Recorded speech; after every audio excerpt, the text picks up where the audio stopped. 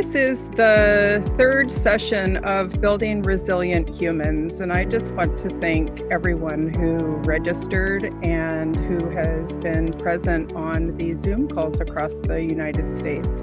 It's been a lot of fun for me to see where everyone is from and um, all of the interest in all the interest in resiliency building, mostly from school nurses, but we have uh, other professions included counselors, um, healthcare providers. It's just been a delight. So, thank you. Uh, it's not very often that us nurses really get accolades for all the little things that we do. And so, it, what it feels like to me to have so many interested and engaging me in this movement of resiliency building that's attached to trauma sensitive care is that I feel like you guys are kind of patting me on the back. And so I have gratitude for that. Thank you for being here today. My name is Wendy DeGraffenried, and I've been a nurse for 15 years, 13 of that in school nursing, and two for school nursing and psychiatric nursing psychiatric nursing actually is what drew me to uh, become a nurse, knowing that I could help people who had um, difficult time mentally and emotionally, and so that's what really attracts me to this practice. I have been at one middle school, grades six through eight, for 13 years, and I'm diving into something new next year and becoming a homeschool nurse uh, here in our public school system in Mat-Su Valley, Alaska. And I'm uh, excited about that new uh, challenge. I've done some type of resiliency building for over 20 years, and it's um, it includes things like mindfulness, energy psychology, positive psychology, uh, writing of any sort. And I've pretty much conglomerated that all together and created my own practice. And what I found in my school nurse's office over the years is that the kids lacked emotional intelligence. They lacked the ability to understand what was going on in their body and their mind in order to tell me how they're feeling. And so I've broken down a practice that we'll be reviewing called emotional flossing or M flow or Emo-Flo for short. So I'm delighted to share that with you because it's something that I see can go global, not just national like it is now, but global as a simple daily emotional hygiene practice. And some of you have been with me since session one. And any feedback that you can give either in the comments or in the post conference follow up eval, which you should have received as an attachment to your email that I sent out yesterday. Your feedback is highly valued as I move forward and expand on what my understanding of emotional tel- intelligence is and where the movement needs to go in our schools as counselors, in our own personal communities, and then on to the nation and to the world. Hence, the name Building Resilient Humans, because it's not just about building resilient teens, or building resilient adults. It truly is about transforming uh, us as human beings so that we can better adapt to our total experience. So that's Nurse Wendy in a nutshell. Thank you for being here today. So, building resilient humans actually started as um, something small but turned into something bigger. As I started looking at what really am I trying to do on a larger scale with resiliency building and what my experiences through um, different types of resiliency building over the last 20 years, I realized that most of what we need to learn is to embrace and acknowledge what we're experiences experiencing as human beings and not discrediting it, not ignoring it, not judging it, but just acknowledging it and embracing it and doing our best to um, come to an understanding of how emotions affect us in the body. And so, building resilient humans is part of what I call breathe, and it's a complete um, movement and course that is in the process of being created. So, building resilient humans is much smaller, and it stands for building resilient resiliency by embracing and acknowledging the total human experience. So, welcome and thank you for being here today. We'll begin by learning just the four simple steps of emotional flossing by doing a before check in, do a strategy, and then do an after check in, and then repeat as needed. Something so easy that we can teach uh, children of all ages and adults of all ages how to check in with their bodies and do something about it because we're not really taught to do that. We're not really taught to identify the emotion and what we can do about it. We, parents do that, but there isn't a system like we have for dental hygiene of brushing our teeth in the morning and at night or after we eat and flossing a couple times a day and going to the dentist every six months. We just don't have that. And so this is a, an effort to change that. We'll come back to this slide here in a moment. Today, we're mostly going to uh, review um, the basic building blocks, and then I want to spend the majority of the time on reviewing all of the resiliency building strategies that I've introduced to you, which would be four, two from the first session, two from the second session, and then two more today. So I hope to get through all of that so that um, those who either registered for this class and didn't get a chance to join us can actually uh, watch this video uh, once it's posted on YouTube and uh, gain an understanding and add some tool resiliency building tools to their toolbox. So the basic building blocks of resiliency building is really just to understand what's going on inside the body. And that starts with what I call ESP. It's a check-in, and we use a SUD scale, a uh, subjective units of distress scale, zero out of 10. Nurses, we know that as a pain scale, or in some arenas, a comfort or a discomfort scale. So as we look at our emotions, emotions, we have to understand that pain comes with emotions, it comes with our senses, and it comes not just with physical discomforts, but psychological discomforts. The things that we think, the beliefs that we have, the things that disrupt our flow of joy and happiness. So I have a picture here of a camera. And as I was thinking about what I wanted to present today, I was reminded of selfies. And some people don't take them because they don't like to take a picture of themselves. And there's lots of reasons that that might occur. So I want you to just take a moment. We're going to find a sensation and you can put in the chat box if it's a positive or a negative or an uncomfortable sensation and maybe expand on what that sensation feels like. Because we all have different perspectives. And so, for example, just to start with me, I loved photography in high school and I had a chance to take many photography classes. And we started, the very first assignment was to make a canned camera out of an old coffee tin.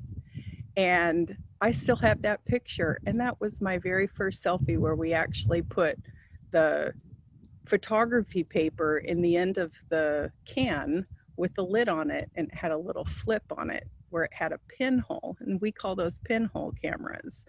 And I remember just absolutely loving to see the process of how a picture was taken or a piece of paper was exposed.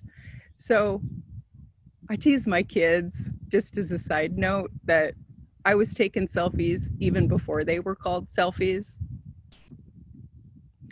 And so my perspective of selfies starts back there in high school where I learned how to take a picture of myself. So just take a moment here to think about what you do when someone wants to take a picture of you or the sensation or the feeling that you get when you think about taking a selfie. And you can share that in the chat box positive feeling or a distressful or an uncomfortable feeling because all of us are not the same. Those perspectives that we have on a life experience is not the same. And so as we move forward and we understand that my experience of life, and in some circles, it's called the map or the territory, the map isn't the territory. It means what I look at or how I perceive something in the world doesn't mean that it's the territory.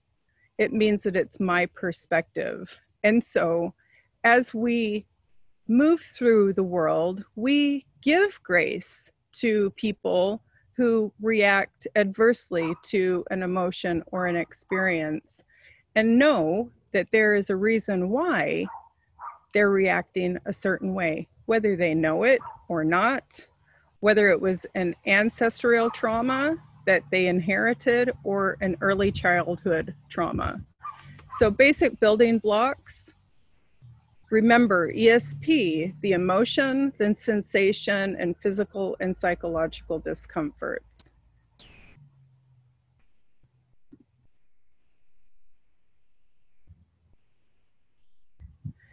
So we'll be reviewing these strategies, the 478 breathing plus tapping, butterfly hug, magnet hands, tapping or EFT, which stands for emotional freedom technique. And then we're adding two mindful movements today called mixing fire and water and releasing the steam. They are simple to do and they're simple to teach. The tapping one does take a little bit more education and a little bit more experience. But if you like the thought of tapping out an experience where you want to feel better about something, tapping is wonderful process. And you can take a whole class on tapping and learn how to bring that into your personal life or your practice. And I would refer you to the tapping solution with Nick Ortner and his sister. And that's an app that can be found online. Or there's tapping in the classroom with Peta Stapleton, and she's out of Australia. And you can become certified in tapping in the classroom. It's a d- delightful program and it's reasonably priced. So let's go back to our check in. So, before we do any of the strategies, just take a moment to scan from head to toe. Just kind of take some deep breaths and relax into your seat and look inward toward any distress or discomfort that you might have, starting with the head and down the neck and the shoulders just kind of feel how you're breathing, if there's any tightness or discomfort. You might feel a strong emotion if something happened recently. You might have an underlying tone of anxiety around the uncertainty at this time. So see, just check in, see where there is discomfort, pain, and rate that zero to 10. Zero meaning I'm pretty un, I'm pretty comfortable. Nothing really is distressful right now. And 10 would be the most distressed or discomfort or intense emotion. So we'll come back to this after we do all of our strategies.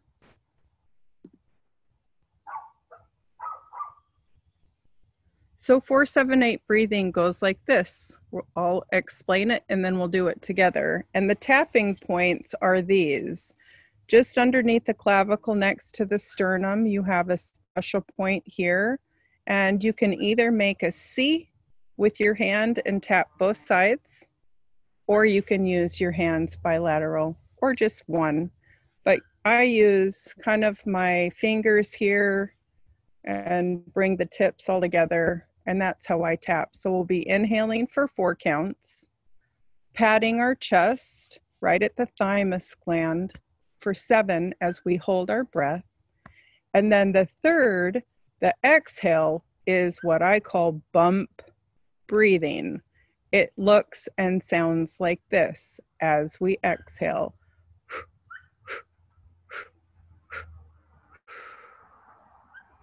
So 478 can happen without the tapping or with the tapping. We're going to do four breaths with tapping and beginning now. Inhaling. Hold it.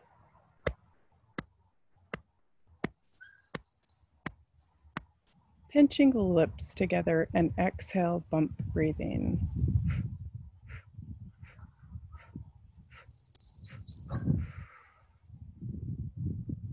And again, inhale. Hold it.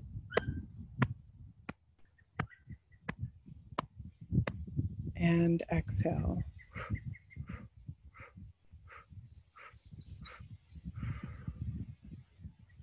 Inhale. Hold it. and exhale.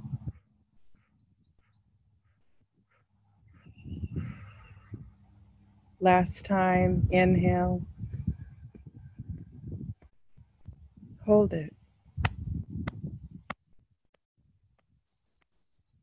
And exhale.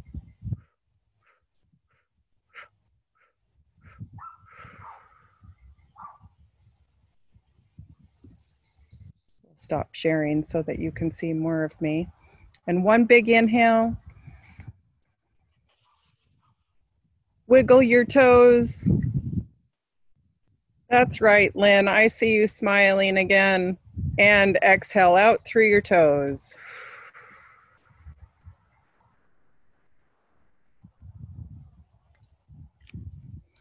So just for the sake of the video, so that you can see me a little bit better when this is on YouTube is the clavicle points are here. We can make a C and hit both of those points, do bilateral both hands or just one side, whatever feels comfortable for you. And that's four on the inhale, pat at the thymus for seven, and then bump breathing for exhaling eight.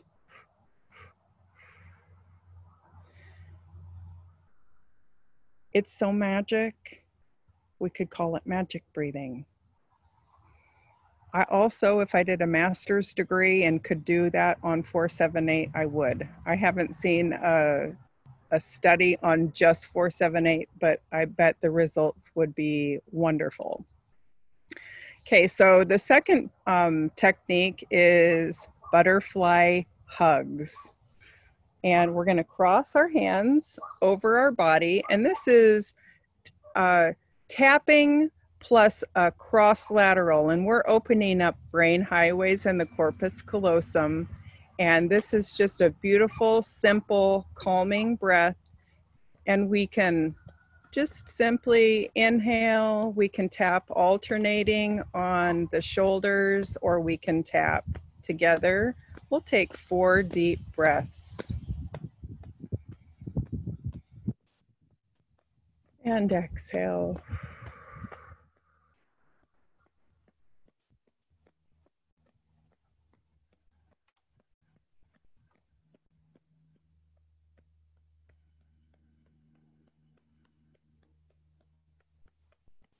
that discomfort or the emotion that you felt at the beginning, you could think of that as you are self soothing through butterfly hug. And one more breath.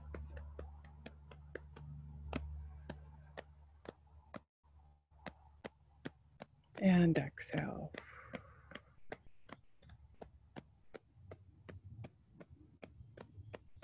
Wonderful. So you can do the hands underneath the arms. You can't really see me that well, but you can under the arms and tap under. And when we get to the tapping, you'll see that that's a special point too here. Okay. And so that can be uh, a hug and then a little bit of a tap underneath. Okay, I think we have magic hands next, or magnetic hands next. So this is, let's start to rub our hands together. We're becoming aware of kinesthetic sensations that can happen in the body. And we know we get shivers when we're cold, and we sweat when we're hot. When we rub our hands together, it brings circulation and warmth. But we can also play with a magnetic feeling so when you're done, just start to sense this movement and kind of a tingling sensation in the hands. And if you want to start to play with that, the hands can feel like magnets, pushing up against each other and repelling, and also pulling towards each other and slow the breath down and slow the mind down, focusing on just the sensation. We can pull it apart and imagine that the hands want to pull together and then push them together. And we've all, at some point, with a rubber ducky or a ball in the water, pushed it down in the water and felt how that ball pushes back at our hand. And that is kind of a sensation that we can feel between our hands. So, this is a practice that we did, do in Tai Chi to develop the energy flow. And this can be directed towards children that just need to take their mind off of something to see if they can feel the magnets in their hands. Good. All right, let's go back to my screen share because I don't have. All right, so we have tapping, mix, fire, and water, and then release steam. The next one is tapping. We're just going to go through the points and please know that this is uh, much bigger than what I'm reviewing today. I'm just skipping superficially and introducing you to tapping so that if it's something that you wish to uh, look at further online, there are sources. Like I said, an app called the Tapping Solution and tapping in the classroom with Peta Stapleton, um, both wonderful, uh, and you'll get more out of, uh, get deeper into those. So tapping begins, and we're hitting points, meridian points along acupuncture, acupuncture meridians. And how meridians work is there is energy or chi that flows through the body and the emotions flow through the body. And so when areas get stuck in the body, it's like backs it up and causes a little dam. So tapping, if you can imagine, releases those dams um, and stuck points and releases emotions. Okay, so the first point is the karate chop point here. You can use four fingers and we're just gonna tap here. And there's setup, setup statements that um, even though I'm feeling this pain here in my body or this discomfort or uncomfortable feeling, I completely and deeply love and accept myself. And so, whatever that discomfort or that emotion that you were feeling at the beginning, just acknowledge that as we tap. Even though I have this uncomfortable feeling or this stress or this distress or this emotion, and it's at this number in my body, I completely and deeply love and accept myself. Okay, top of the head. This sensation, this emotion. The middle by the third eye here at the eyebrow, this emotion, this feeling, this distress. Around the eye, at the edge of the eyebrow, here, this feeling this emotion, this distress. Underneath the eye, right at the edge of the orbit, this emotion, this feeling, this distress. Underneath the nose,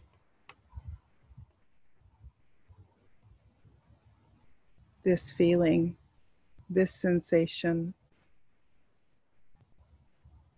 right underneath the mouth on the chin. This emotion, this feeling, this distress. That same point when we did 478 with tapping, right underneath the clavicle, this emotion, this feeling, this distress. And then underneath the arm here, right about where the bra line goes. Not quite up in the armpit if you're directing men or boys, but just down on the ribs.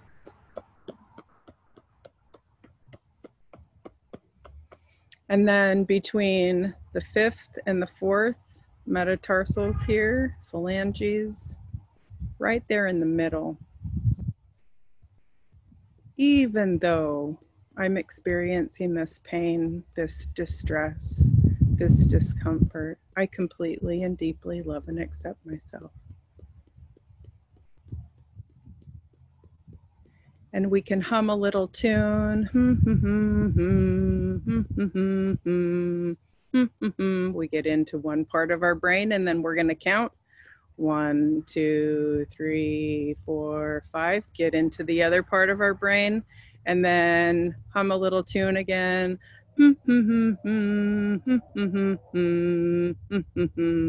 Again, building super highways through counting and humming. And big inhale. And a big exhale. Out the toes again. Wiggle the toes.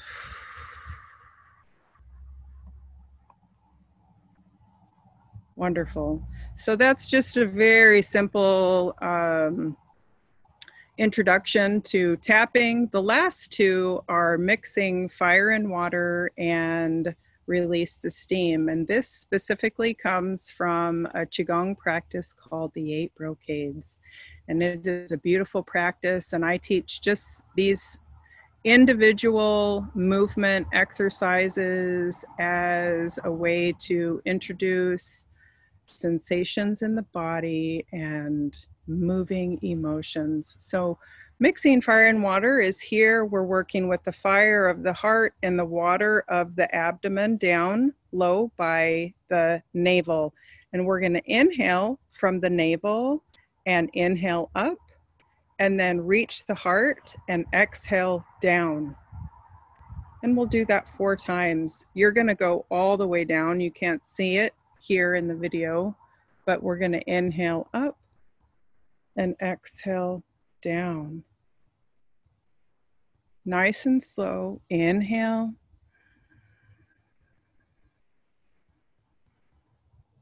Pause and down.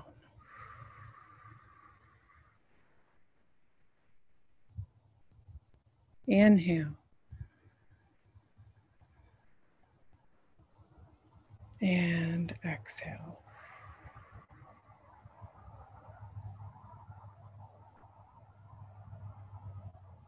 Inhale. See if you can feel some sensations as your hands move up and down and exhale. And last time, inhaling up. Pause at the top and exhale down.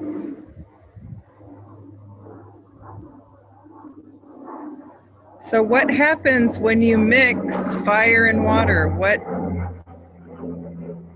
happens? If fire is underwater, that's right, and it creates steam. And so we've done that in our bodies. We're going to take and release the steam. The backs of their hands come together, and we'll start down low and inhale up and exhale, slowly release the steam, clearing away all the old and the noxious. Bring the hands, palms up, back to the middle, and backs of the hands together, inhaling up.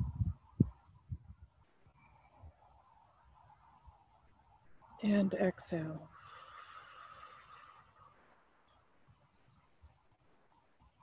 All the way down, palms of the hands together and backs of the hands. We'll do that two more times. Inhale up. This time, imagine exhaling out the fingertips because where the mind goes, the chi follows. The intent goes there, opening up meridians and energy flow through the arms. And last time, inhaling up. And exhale.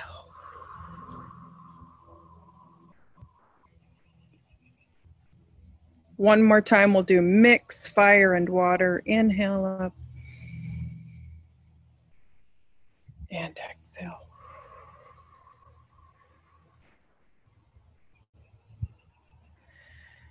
So, if a person wanted to do just mixing fire and water, this is the formula four mix fire and water,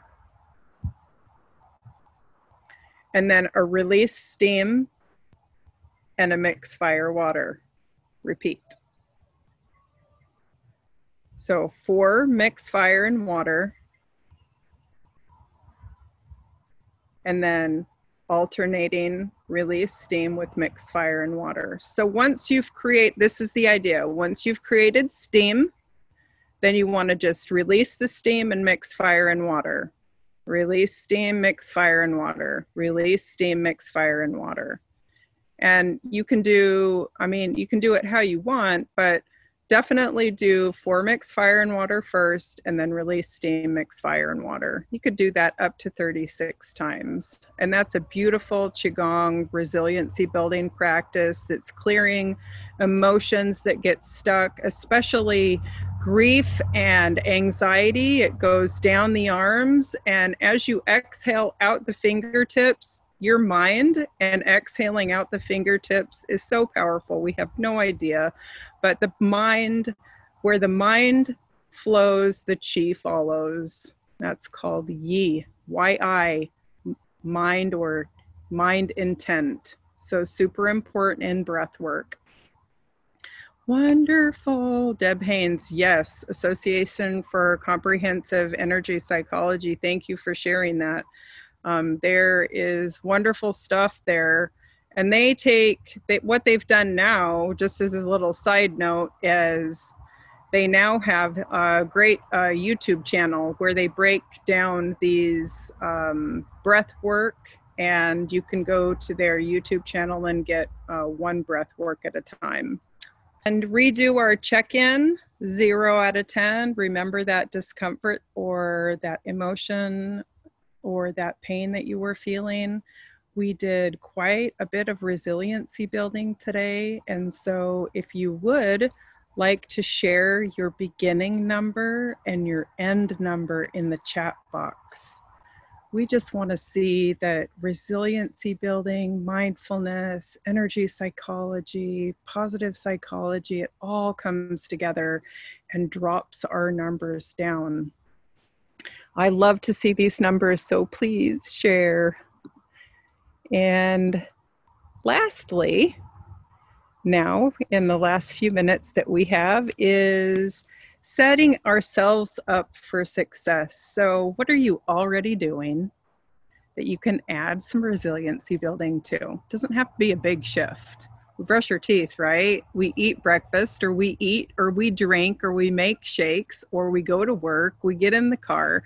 There's lots of stuff that we do that we can set ourselves up for success. Some of you have done some beautiful exercises and scheduled your resiliency building around what you're already doing. And that's a beautiful thing. So don't make it some big to do.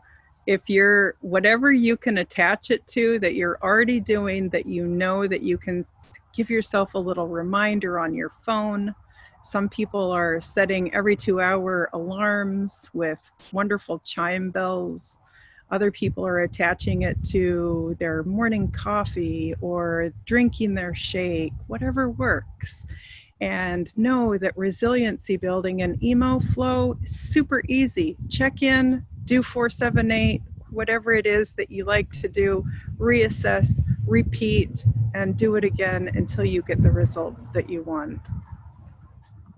And I do want to acknowledge those people who have been here all three sessions. It's been a very trying time. We have never been through this, none of us. It is all new. And we, for, we forget that. We forget that we're in a global pandemic. And now that businesses and life is getting back to normal. For some of us, it does not feel like it's normal. People are, there are a wide spectrum of how people are interpreting the change. And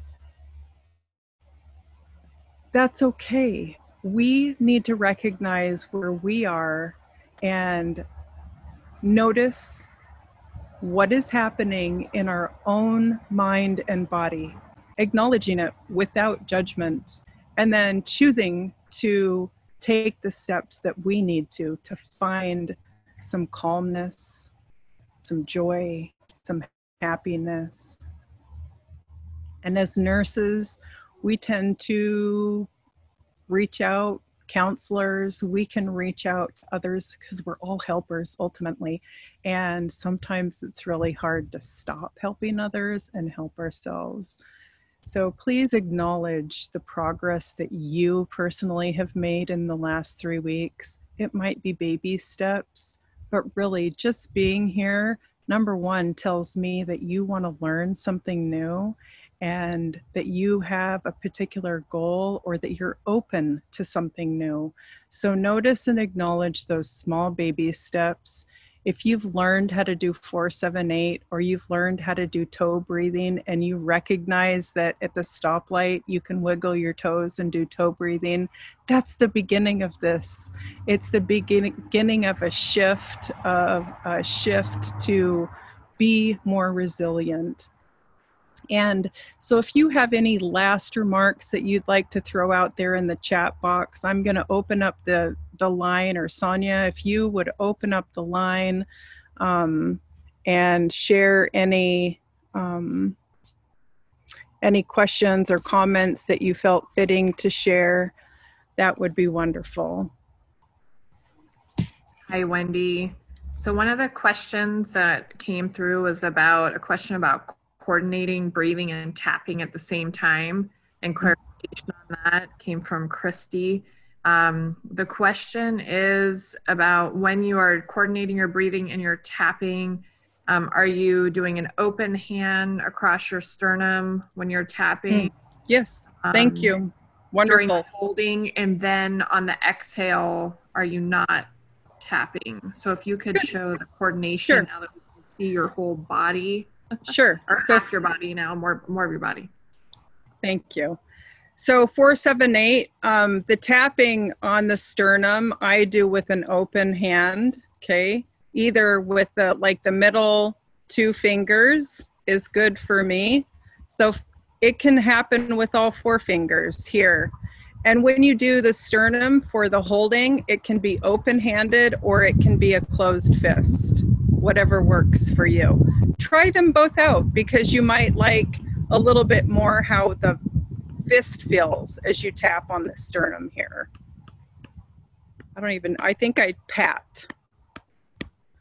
So, what works for the breathing and the counting is I can end up counting the taps. So, let's do that again. We're going to inhale and do four taps to count four breath or four counts. And then there's a pause. And then open or closed for holding for seven.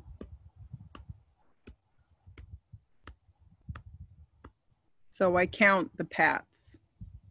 Okay. And then bump breathing can be here at the sternum or the hand can go down on the abdomen. I just end up leaving it right here and hold this because that's a very soothing touch to the body. And then just bump, breathe eight times.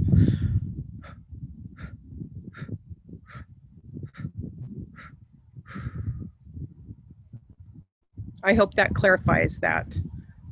It makes it a little bit easier if you're counting the taps, the bump, and the bumping rather than the counts and not coordinating it up. Good. Wonderful question. Thank you. Lynn, 10 to 2, tough day. Namaste to you, sweetie. We have days like that, but that's magic. And that just the fact that you got on and said, I need this to do this is really big. So hold your heart and give yourself a heart hug because those 10 days are real. I know those 10 days. Good. Any other questions, Sonia?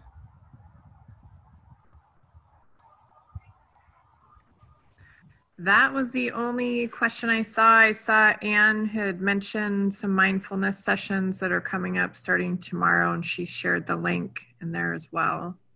Wonderful. Yes, there is so So, much. There is so much out there. hmm Mindfulness for Educators, a weekly one, and it's free. That looked good. So it looks like everybody was more relaxed after doing all the exercises. so it's a good It's day. It's true. It's true. It's why I do it. And um, Lynn, there are days where a four, seven, eight breathing and tapping doesn't calm me down. And um, so, as a bit of a, I suppose, a disclaimer that when you need to reach out to someone um, or make a phone call to a professional, it is okay to go there too because sometimes we cannot self regulate. And all of this today is self regulation, isn't it? So sometimes we need to recognize that we need to co regulate. And so we have our go to friends and we have helplines and uh, we have telehealth. And with that, remember that there are times when um, this isn't enough. And there are days when we're at, at a 10 and our lid is flipped and we can't calm ourselves down. And I've been there, I know, I know what that feels like. So I'm um, lucky that I, you chose me to come and help you co regulate that, Tim. And with that, um, bless you all with all that you are in need of the light and the colors and the sounds that your um, your soul needs. Um, it is special that we have each other, and I am delighted to and very humbled to share with you today what I have been collecting And with that, namaste, uh, be well. Nurses, you've been wonderful. The compliment is very highly received. So thank you for being here. Thank you for sharing it.